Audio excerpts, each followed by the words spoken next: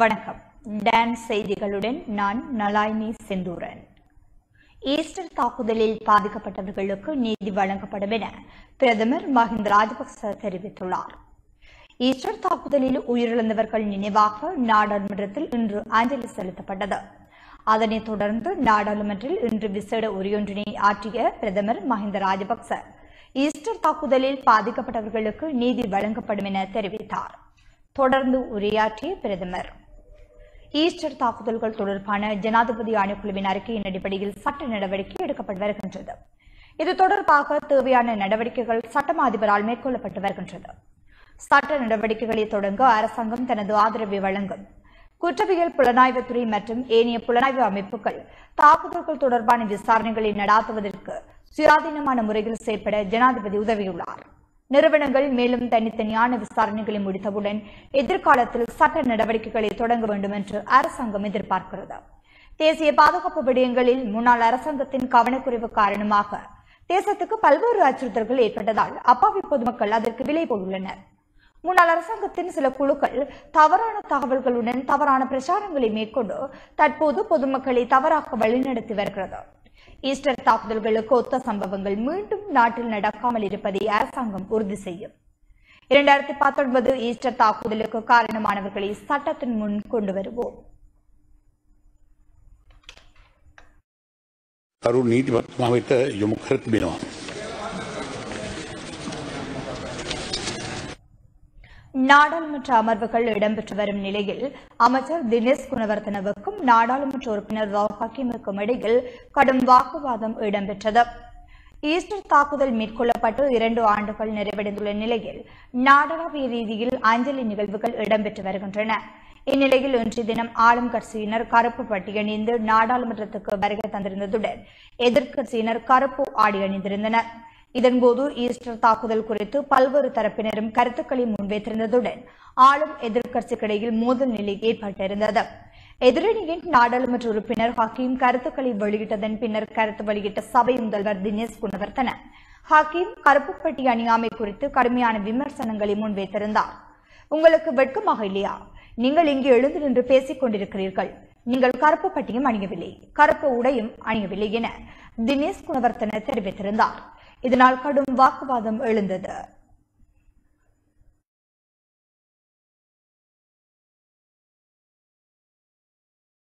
කතානායකතුමනී පාලිමේන්තු සම්ප්‍රදායට අනුකූලව කල්තැබීම විවාදයකට යම් මාතෘකාවක් පිට යම් පාර්ශවයක් ඉල්ලුවා නම් දැ මෙවැනි පූවාදර්ශයක් ඔබතුමා ඇති කරනවා නම් අපි යෝජනා කරන ඕනෑම මාතෘකාවට අ, විකල්ප මාතෘකා ඒ මාතෘකාවම අපි ඉදිරිපත් කරනවයි කියලා කියලා ආණ්ඩුවට ඒක හයිජක් කරගෙන යන්න පුළුවන්.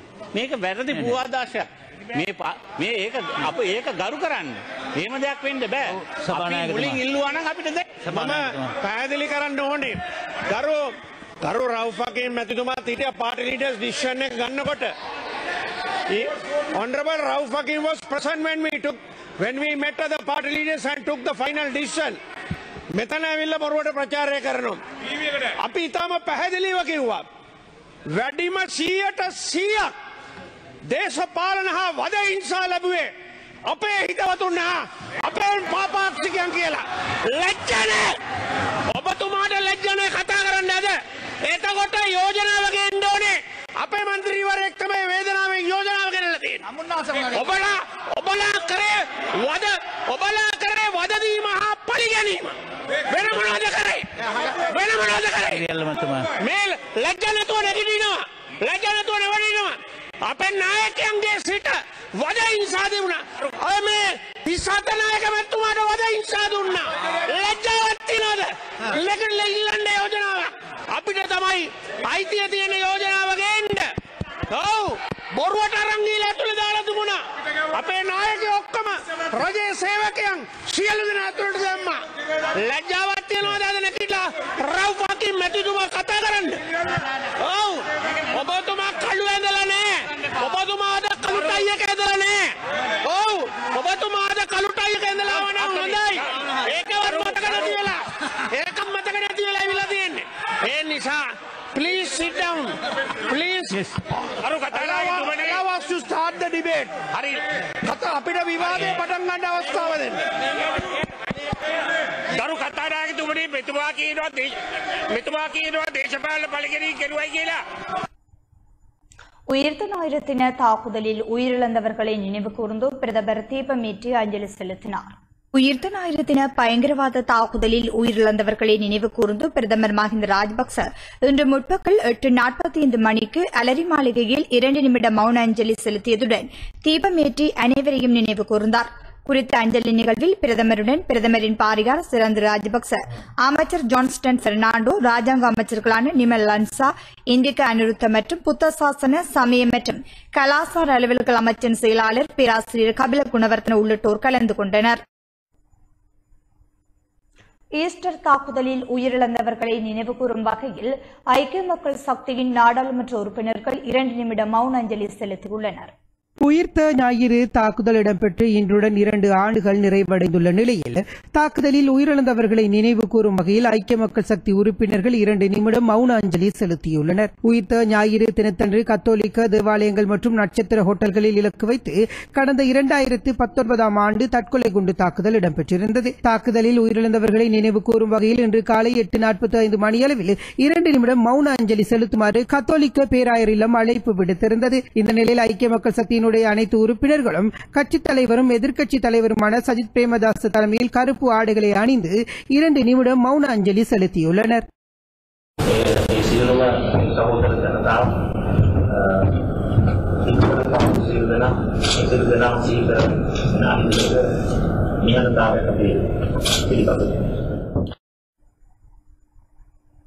ஏப்ரல் இருபத்தொன்று தாக்குதலில் உயிரிழந்தவர்கள் நினைவு கூறப்பட்டனர். உயிர்த்த ஞாயிறு தாக்குதலில் உயிரிழந்தவர்களை நினைவு கூறும் விதமாக இன்று காலை எட்டு நாற்பத்தி ஐந்து மணியளவில் இரண்டு நிமிடம் மௌன அஞ்சலி செலுத்தப்பட்டது. கொழும்பு மறை மாவட்ட பேராயர் கர்தினால் மெல்கம் ரஞ்சித் தாண்டகியின் தலைமையில் கொச்சிக்கடை தேவாலயத்தில் இந்த நிகழ்வு ஆரம்பித்து வைக்கப்பட்டிருந்தது. உயிர்த்த ஞாயிறு தாக்குதல் இடம்பெற்று இன்றுடன் இரண்டு வருடங்கள் நிறைவடைந்துள்ள நிலையில் பல்வேறு விசேட ஆராதனைகள் நாடளாவிய ரீதியில் உள்ள தேவாலயங்களில் ஏற்பாடு செய்யப்பட்டிருந்தது. இந்த நிலையில் ஏப்ரல் இருபத்தொன்று தாக்குதலில் உயிர் நீத்தவர்கள் மற்றும் காயமடைந்த பாதிக்கப்பட்ட அனைவருக்கும் வழக்கமான பிரதான திருப்பலி பூஜை கொச்சிக்கடை புனித அந்தோனியார் தேவாலயத்தில் இன்று ஒப்புக் கொடுக்கப்பட்டது. இந்த விசேட திருப்பலி ஒப்புக் கொடுத்தல் மற்றும் ஆராதனைகளில் சர்வ மத தலைவர்களும் பங்கேற்றிருந்தனர். இரண்டாயிரத்தி பத்தொன்பதாம் ஆண்டு ஏப்ரல் மாதம் இருபத்தி ஓராம் தேதி உயிர்த்த ஞாயிறு தினத்தன்று மூன்று கத்தோலிக்க தேவாலயங்கள் மற்றும் கொழும்பில் உள்ள நட்சத்திர ஹோட்டல்கள் உள்ளடங்களாக ஏழு இடங்கள் இலக்கு வைத்து தற்கொலை குண்டு தாக்குதல் நடத்தப்பட்டன. இந்த தாக்குதலில் இருநூற்று அறுபதுக்கும் அதிகமானோர் உயிரிழந்தனர். சிறு குழந்தைகள் பெண்கள் சர்வதேச சுற்றுலா பயணிகள் அடங்கலாக ஐநூற்று மூன்று பேர் படுகாயம் அடைந்து பலர் அங்கவீனமும் உற்றனர்.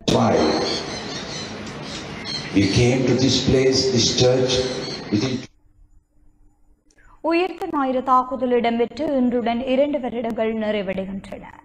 நாட்டில் மூன்று தேவாலயங்கள் நட்சத்திர விடுதிகள் மீது கடந்த இரண்டாயிரத்தி பத்தொன்பதாம் ஆண்டு ஏப்ரல் மாதம் இருபத்தோராம் தேதி தீவிரவாதிகளால் தற்கொலை குண்டு தாக்குதல்கள் நடாத்தப்பட்டன. இந்த தீவிரவாத தாக்குதல்கள் இடம்பெற்று இன்றுடன் இரண்டு வருடங்கள் நிறைவடைகின்றன. இத்தொடர் குண்டுவெடிப்புகள் காலை எட்டு முப்பதற்கும் ஒன்பது பதினைந்து மணிக்கும் இடையில் நிகழ்ந்தன. இத்தாக்குதலில் முப்பத்தொன்பது வெளிநாட்டவர்கள் மூன்று போலீசார் உட்பட இருநூற்று ஐம்பத்து மூன்று பேர் கொல்லப்பட்டனர். ஐநூறுக்கும் மேற்பட்டோர் காயமடைந்திருந்தனா் கொழும்பு கொச்சிக்கடி புனித ஆந்தோனியார் மட்டக்களப்பு சியோன் தேவாலயம் நீர்கொழும்பு புனித செபஸ்தியான் தேவாலயம் ஆகிய தேவாலயங்களில் உயிர்த்த ஞாயிறு திருப்பலி நிகழ்வுகள் நடைபெற்ற போது குண்டுகள் வெடித்தன. ஏனைய குண்டுகள் கொழும்பின் நடுப்பகுதியில் அமைந்திருந்த சங்கிர்லா உணவகம் சினமன் கிராண்ட் உணவகம் கிங்ஸ்பெரி உணவகம் ஆகிய நட்சத்திர உணவு விடுதிகளில் வெடித்தன. இத்தாக்குதலில் உயிரிழந்தவர்கள் நினைவாகவும் பாதிக்கப்பட்டவர்களுக்காகவும் இன்றைய தினம் நாடளாவிய ரீதியில் உள்ள தேவாலயங்களில் விசேட ஆராதனைகள் இடம்பெற்றன. தேவாலயங்களில் ராணுவம் மற்றும் கடற்படையினரின் விசேட பாதுகாப்புடன் வழிபாடுகள் இடம்பெற்றன. அந்த வகையில் ஈஸ்டர் தாக்குதலின் இரண்டாம் ஆண்டு நினைவேந்தல் விசேட ஆராதனை யாழ்ப்பாணம் மரியண்ணி பேராலயத்தில் இன்று காலை எட்டு நாற்பத்தி ஐந்து மணிக்கு இடம்பெற்றது. யாழ்ப்பாணம் மறைமாவட்ட குறுமுதல்வர் ஜபரட்னம் அடிகளார் தலைமையில் நினைவேந்தல் விசேட ஆராதனை இடம்பெற்றது. நிகழ்வில் பொதுச் சுடரினை யாழ்ப்பாணம் மாநகர முதல்வர் விஸ்வலிங்கம் மணிவண்ணன் ஏற்றி வைத்தார்.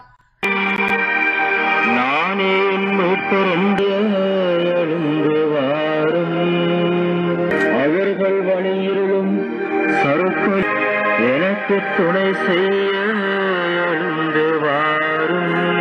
அதனைத் தொடர்ந்து உயிரிழந்தோரின் நினைவாக மதகுருமார்கள் பொதுமக்கள் பாடசாலை மாணவர்கள் மெழுகுவர்த்திகளை ஏற்றி பிரார்த்தனையில் ஈடுபட்டனர்.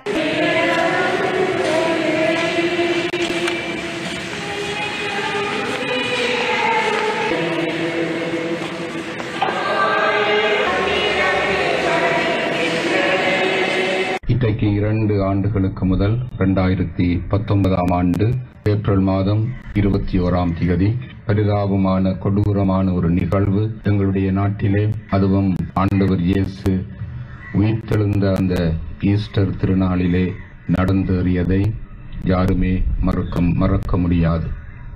இரண்டு ஆண்டுகள் கடந்துவிட்ட இந்த நிலையிலும் அந்த கொடூர நினைவுகள் இன்னும் உள்ளத்தை இன்னும் துன்பப்படுத்திக் கொண்டிருக்கின்றன. ஆகவே இன்றைய நாளிலே நாங்கள் இந்த இடத்திலே ஒன்று கூடி இந்த இறந்தவர்களுடைய ஆன்மாக்களுக்காக இறைவனை பிரார்த்திக்கிறோம். எங்களுடைய அஞ்சலிகளை செலுத்துகின்றோம். அத்தோடு பாதிக்கப்பட்ட அனைவருக்கும் எங்களுடைய தோழமையையும் ஆதரவையும் இந்த வேளையிலே நாங்கள் தெரிவித்துக் கொள்கின்றோம். ஒருவரை ஒருவர் தட்டி கொடுத்து எல்லாரும் ஒரே மக்களாக எமது நாட்டை ஒரு அழகான இலங்கையாக வளர்த்து வர அனைவரும் உறுதி பூண வேண்டுமென்று இந்த நாளிலே அனைவரையும் அன்போடு கேட்டுக்கொள்கிறோம். உயிர்த்த கிறிஸ்துவனுடைய ஆசீர்வாதம் உங்கள் எல்லார் மேலும் நிறைவாக இருப்பதாக. மட்டக்களப்பு சியோன் தேவாலயத்தில் ஈஸ்டர் குண்டு தாக்குதலில் உயிரிழந்தவர்களின் இரண்டாம் ஆண்டு நினைவேந்தல் விசேட பிரார்த்தனை இன்று இடம்பெற்றது. சியோன் தேவாலயத்தில் தாக்குதலுக்கு பின்னர் முதன்முறையாக இன்றைய தினம் தாக்குதலில் உயிரிழந்தவர்களுக்காக பிரார்த்தனை முன்னெடுக்கப்பட்டது. பலத்த பாதுகாப்புக்கு மத்தியில் இந்த விசேட வழிபாட்டில் உயிர்த்த ஞாயிறு தாக்குதலில் உயிரிழந்தவர்களின் உறவினர்கள் தாக்குதலில் காயமடைந்தவர்கள் என பல்வேறு தரப்பினரும் வழிபாட்டில் கலந்து கொண்டனர். சியோன் தேவாலயத்தின் போதகர் ரோசான் மகேசன் தலைமையில் இந்த வழிபாடுகள் முன்னெடுக்கப்பட்டன. இதன்போது தாக்குதலில் கொல்லப்பட்டவர்களின் ஆத்மா சாந்தியடையவும் தாக்குதலில் பாதிக்கப்பட்டவர்கள் அந்த சம்பவத்தின் அதிர்ச்சியிலிருந்து மீட்சி பெறவும் வழிபாடுகள் முன்னெடுக்கப்பட்டது. அத்துடன் நாட்டில் இவ்வாறான சம்பவங்கள் எதிர்காலத்தில் நடைபெறாமல் இருக்கவும் நாட்டில் சாந்தியும் சமாதானமும் ஏற்படவும் வழிபாடுகள் நடாத்தப்பட்டன. இரண்டாயிரத்தி பத்தொன்பதாம் ஆண்டு ஈஸ்டர் தினத்தன்று மட்டக்களப்பு சியோன் தேவாலயத்தில் இடம்பெற்ற குண்டு தாக்குதலில் பதினான்கு சிறுவர்கள் உட்பட முப்பத்தொரு பேர் உயிரிழந்ததுடன் எழுபதற்கும் மேற்பட்டோர் படுகாயமடைந்தனர் என்பதும் குறிப்பிடத்தக்கது. தங்கள் உறவுகளை இழந்த குடும்பங்கள் படுகின்ற பாடுகளுக்கு அளவே கிடையாது. அதே போல காயப்பட்டவர்களையும் நான் நினைக்க நினைவு கூறுகிறோம். இன்றும் கூட சரீரங்களிலே பலவிதமான காயங்களினாலே சகோதரி சிஸ்டர் லேக்கா இருக்கிறா. அவை நான் படுத்த படுக்கை ஓய்வு நாள் பாடசாலை ஆசிரியை.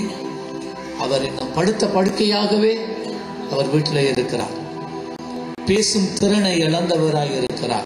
நடக்க முடியாது. கரத்தை பயன்படுத்த முடியாது. இன்றும் அந்த குடும்பங்கள் இதே போலதான் பல குடும்பங்கள் இன்றும் இந்த ரெண்டு வருடங்களுக்கு முன்னே நடந்த இந்த அனர்த்தத்திலே உடைய தாக்கத்தை அவர்கள் அனுபவித்துக் கொண்டிருக்கிறார்கள். தேவன் தாமே இந்த நாளிலும் கூட ஒரு பெரிதான ஒரு இழைப்பாறுதலையும் ஒரு திருப்பத்தையும் அவர்கள் வாழ்க்கையில் கொண்டு வருவார்கள் என்று நாங்கள் விசுவாசிக்கிறோம். வவுனியா ரம்பிக்குளம் அந்தோனியார் தேவாலயத்தில் உயிர்த்த ஞாயிறு தாக்குதல் இரண்டு வருட நிறைவை முன்னிட்டு இன்று காலை விசேட டாராதனி இடம்பெற்றது. அத்தாக்குதலில் உயிரிழந்த மக்களின் நினைவு கூர்ந்து இறந்தவர்களின் ஆத்மா சாந்திக்காக வவுனியா அந்தோனியார் தேவாலயத்தில் அருட்தந்தி ஜெயபாலன் தலைமையில் மெழுகுவர்த்தி ஏற்றி விசடு வழிபாடு இடம்பெற்றிருந்தது.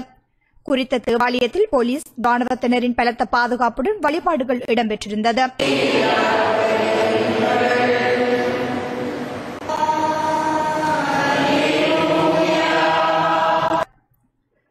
உயிர்த்த ஞாயிறு தாக்குதலில் உயிர்நீர்த்த மக்களுக்காக மன்னார் மாவட்டத்தில் உள்ள ஆலயங்களிலும் விசேட திருப்பலி கொடுக்கப்பட்டது. மன்னார் தூய செபஸ்தியார் பேராலயத்தில் இன்று காலை ஐந்து நாற்பத்தி ஐந்து மணியளவில் விசேட திருப்பலி ஒப்புக் கொடுக்கப்பட்டது. அருட்தந்தி எஸ். ஞானப்பிரகாசம் அடிகளார் தலைமையில் குறித்த திருப்பலி ஒப்புக் கொடுக்கப்பட்டது இதன்போது ஏப்ரல் இருபத்தொன்று இடம்பெற்ற தற்கொலை குண்டு தாக்குதலில் உயிர்நீத்த மக்களுக்காக இறை பிரார்த்தனைகள் மேற்கொள்ளப்பட்டதோடு மலர் தூவி அஞ்சலியும் செலுத்தப்பட்டது. திருப்பலியில் பாடசாலை மாணவர்கள் மக்கள் என பலர் கலந்து கொண்டனர்.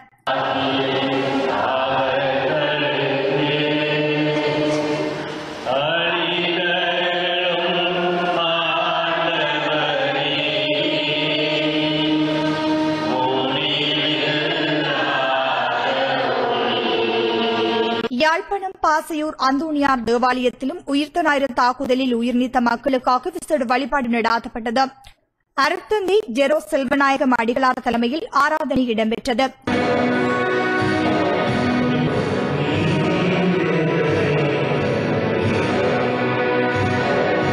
இதன்போது மெழுகுவர்த்தி ஏற்றி விசேட வழிபாடு இடம்பெற்றிருந்தது. வழிபாட்டில் பாசையூர் அந்தோனியார் தேவாலய மக்கள் பாடசாலை மாணவர்கள் என பலர் கலந்து கொண்டனர்.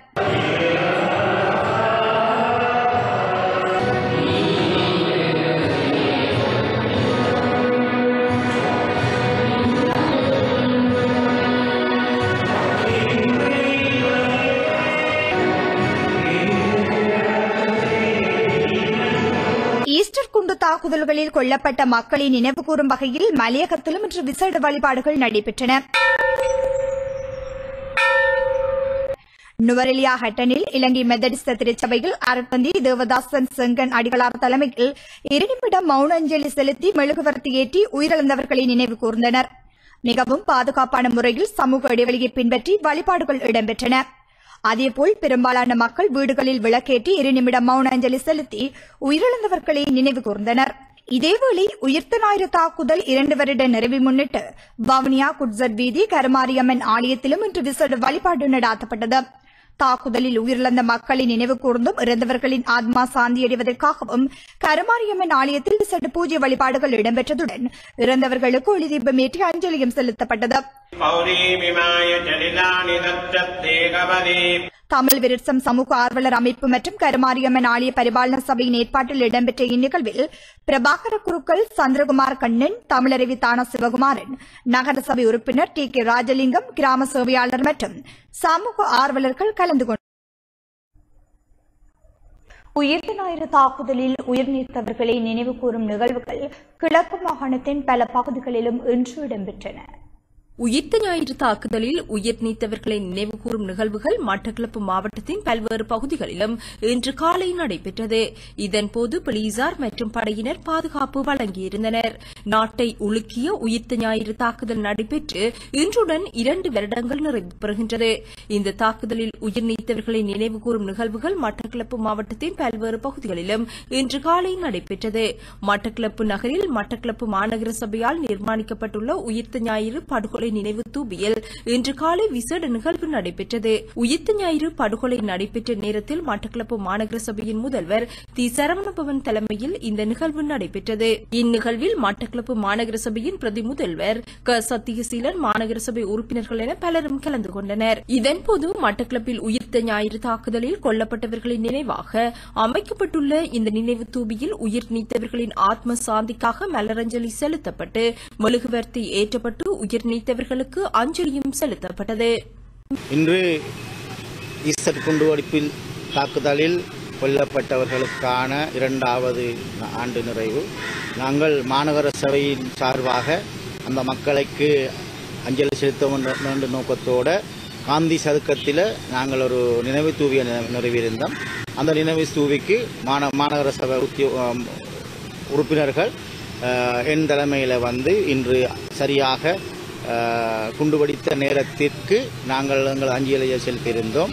உண்மையிலேயே அந்த மக்களை முதலில் நினைவு கூற வேண்டும் என்று சா- தூவி கட்டினது எங்களோட மாநகர சபை தான் நாங்கள் மாநகர சபை சார்பாக இந்த தூவியை அமைக்கும் போது எங்களை விமர்சித்தவர்கள் இன்று அதிகாலையிலே வந்து இந்த அஞ்சலியை செலுத்தி சென்றிருந்தார்கள். அது அதை நாங்கள் வரவேற்கின்றோம். எங்களுக்கு பாதுகாப்பு படையினர் பாதுகாப்பு வழங்கிக் கொண்டிருக்கின்றனர். அதே போன்று யுத்தத்தில் உயிரிழந்தவர்களை நினைவு கூறுவதற்கு எங்களுக்கு சந்தர்ப்பங்களை வழங்க வேண்டும். நேற்று முன்தினம் கூட அன்னை பூவதியின் நினைவு ஸ்தூயை நி- நினைவு நினைவு கூறுவதற்கு பல தடைகளை விதிக்கப்பட்டிருந்தது. எனவே இறந்தவர்களை இறந்தவர்களுக்கு அஞ்சலி செலுத்துவதற்கு அனைவருக்கும் உரிமை இரு- உரிமை உள்ளது. அந்த உரிமையை இந்த அரசாங்கம் தமிழர்களுக்கு முழுமையாக தர வேண்டும். போரில் இழந்தவர்களுக்கும் நாங்கள் அஞ்சலி செலுத்த வேண்டும். குண்டுத்தாக்கல் இழந்தவர்களுக்கும் இறந்தவர்களுக்கும் நாங்கள் அஞ்சலி செலுத்த வேண்டும். அது அரசாங்கம் எங்கள் அனைவரையும் சரியான முறையில் சம நோக்கோட எங்களை கையாள வேண்டும். அவ்வாறு அவ்வாறு கையாளும் பட்சத்தில் எங்களுக்கு எந்தவித தடையும் இல்லாமல் நாங்கள் இந்த யு- போராட்ட காலத்தில் யுத்த காலத்தில் இறந்தவர்களையும் நினைவு கூறுவதற்கு அரசு எங்களுக்கு அனுமதி வழங்க வேண்டும். நான் நினைக்கின்றேன் அந்த ஈஸ்டர் குண்டு தாக்குதலிலே கொல்லப்பட்டவர்களுக்கான நீதி இன்னும் கிடைக்கப்பெறவில்லை. நான் நினைக்கின்றேன் இலங்கையின் பாராளுமன்றத்திலே ஓரிரு வாரங்களுக்கு முன்னதாகவும் இதற்கான விவாதங்கள் இடம்பெற்றுக் கொண்டிருக்கின்றது. உண்மையான குற்றவாளிகள் யார் என்பது கண்டறியப்பட வேண்டும். பலர் கைது செய்யப்பட்டிருக்கின்றார்கள் பலர் தடுப்பு காவல்களிலே வைக்கப்பட்டிருக்கின்றார்கள் விசாரணைகள் மேற்கொள்ளப்படுகின்றது. நாட்டினுடைய மேன்மதங்கிய ஜனாதிபதி அவர்கள் இந்த விடயத்திலே மிகவும் கரிசனையாக இருக்கின்றார் என்கின்றது போல் தெரிகின்றது. நான் நினைக்கின்றேன் உண்மையான குற்றவாளிகள் கண்டுபிடிக்கப்பட்டு தண்டிக்கப்பட வேண்டும். மேலும் இவ்வாறான ஒரு சம்பவம் எங்களது இலங்கை திருநாட்டில் மட்டுமல்ல உலகத்தில் எங்கும் நடந்தேறக்கூடாது என்பதற்காக இதற்கான ஒரு நீதி கிடைக்கப்பெற வேண்டும். அத்தோடு இந்த மாநகர சபையிலே நாங்கள் ஆட்சி பொறுப்பிலே இருக்கின்ற காலத்தில் இந்த ஒரு துயரம் இடம்பெற்றிருந்தது. அதன் நிமித்தமாக நாங்கள் ஒரு நினைவு தூவியினை இந்த மாநகர சபையினூடாக இந்த சதுக்கத்திலே அமைத்திருக்கின்றோம். இதற்கு பல விமர்சனங்கள் இந்த தூவி அமைத்த கால பகுதியிலே பல விமர்சனங்கள் முன்வைக்கப்பட்டது. அந்த தூவி அமைக்கப்படுகின்ற இடம் பொருத்தமற்றது. அவ்வாறெல்லாம் பல விமர்சனங்கள் இருந்தும் ஒரு தரமான இடத்திலே ஒரு மக்கள் அஞ்சலி செலுத்தக்கூடிய வகையிலான ஒரு இடத்திலே இந்த தூவி அமைக்கப்பெற்றது என்பது அதன் பிற்பாடு அனைவருக்கும் தெரிந்த ஒரு உண்மை. இதை விமர்சித்தவர்கள் அனைவரும் இன்று வந்து இங்கே அஞ்சலி செலுத்தி சென்றிருக்கின்றார்கள். உண்மையிலே அவர்களை நான் பாராட்டுகின்றேன். இதற்கான நீதி பொறிமுறை நடைபெற வேண்டும் என்பதனை மீண்டும் கௌரவ ஜனாதிபதி அவர்களுக்கு இந்த இடத்திலே ஒரு வேண்டுகோளாக விடுத்து இந்த குற்றவாளிகள் தண்டிக்கப்பட வேண்டும் என்பதையும் கூறி இன்றைய இந்த நிகழ்விலே கலந்து கொண்ட அனைவருக்கும் என்னுடைய நன்றிகளை தெரிவித்துக் கொள்கின்றேன். அத்தோடு ஊடக நண்பர்களுக்கும் எனது நன்றிகளை இந்த வழியிலே தெரிவித்துக் கொள்கிறேன். மட்டக்களப்பு மாவட்டம் வான்மணி வடக்கில் ரத்த தான நிகழ்வு நடைபெற்றது.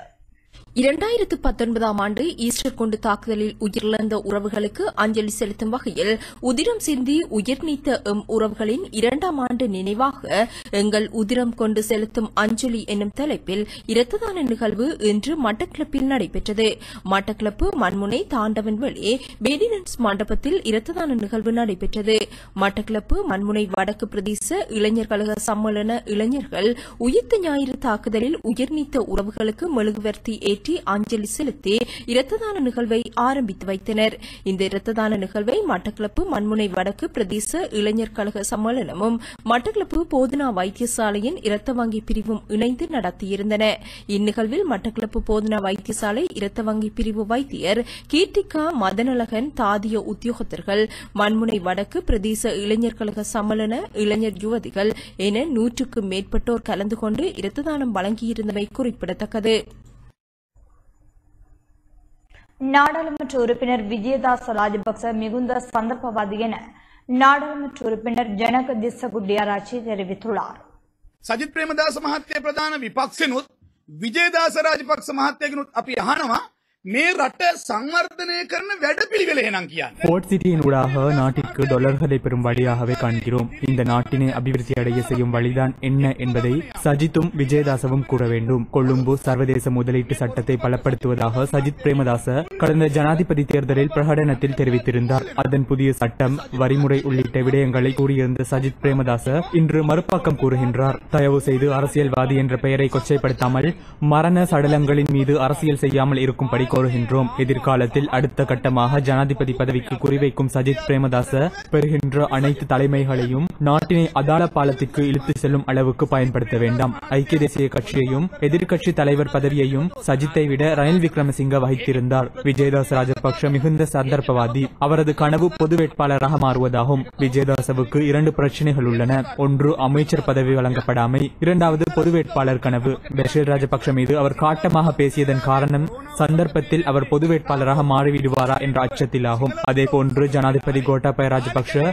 மீண்டும் தேர்தலில் போட்டியிடலாம் என்ற அச்சத்தில் தான் அவர் செயற்படுகின்றார். விஜயதாச ராஜபக்ஷ உள்ளிட்ட குழுவினர் இப்படித்தான் செயற்படுகின்றனர். இருபதாவது திருத்தம் செய்கையில் பெஷில் ராஜபக்ஷ நாடாளுமன்றம் வரப்போவதாக தெரிவித்தே கருத்துக்களை வெளியிட்டனர். அப்படி நடந்ததா? அவர் தனது பெயரில் ராஜபக்ஷ என்ற பெயரினை இட்டுக் கொண்டமையும் எமக்கு தெரியும். உள்கட்சிக்குள் இருந்து கொண்டு அரசாங்கத்தை வீழ்த்த முயற்சிக்காமல் தயவு செய்து எதிர்க்கட்சியிடம் இணைந்து விமர்சிக்குமாறு கோருகின்றோம். குழு சந்திப்பிற்கும் அவர் கலந்து கொள்வதில்லை. நாடாளுமன்ற உறுப்பினர்களுக்கு அவர் போர்ட் சிட்டி சட்டம் பற்றி விளக்கம் கொடுக்கப்படவில்லை என்று விஜயதாச எப்படி கூற முடியும்? சித்திரை புத்தாண்டு காலத்தில் திடீரென வந்து கருத்து பேசுகின்றார். பின்வரிசை நாடாளுமன்ற உறுப்பினர்களாக நாங்கள் எவருமே விஜயதாசவின் குழியில் விழமாட்டோம் இந்த போர்ட் சிட்டியின் ஊடாக பாரிய வேலை திட்டம் உருவாகின்றது. சர்வதேச ரீதியிலான நிபுணர்கள் புத்திஜீவிகள் மருத்துவர்கள் தொழில்நுட்ப நிபுணர்களுக்கு டாலர்களை லாபத்திற்கு பெற முடியும். எமக்கு ரூபாய்கள் இருக்கின்றன. ஆனாலும் டாலர்களே தேவைப்படுகின்றது. அதற்கெதிராக செயற்படுவோர் பிரச்சினைகளுக்குரியவர்களே ஆகவே யார் என்ன சொன்னாலும் இந்த திட்டத்தை நாங்கள் முன்னெடுப்போம் எதையாவது கூறிவிட்டால் உடனே கருதினால் மகாநாயக தேரர்களிடம் சென்று பேச்சு நடத்தி ஊடகங்களையும் அழைத்து பேசுகின்றனர் அந்த சந்தர்ப்பத்திற்காகவே நாடாளுமன்ற குழு தெரிவு இருக்கின்றது அங்கே வந்து குறை நிறைகளை கூறும்படி விஜயதாசவுக்கும் சஜித் பிரேமதாசவுக்கும் வலியுறுத்துகின்றோம் உணர்ச்சி பூர்வமாக நாட்டு மக்களை குழப்பிவிட்டு வேடிக்கை பார்க்கவே முயற்சி இடம்பெறுகின்றது අවිධමත්ව වැඩ කිරීම පිළිබඳව මෙරටේ දේශපාලඥයෙකුට වඩා තරුණයෙක් විදියට පුරවැසියෙක් විදියට මං ඔබතුමා ගැන කනගාටු වෙනවා. இத்துடன் செய்திகள் நிறைவடைகின்றன தொடர்ந்தும் டான்ஸ் செய்திகளோடு இணைந்திருங்கள் வணக்கம்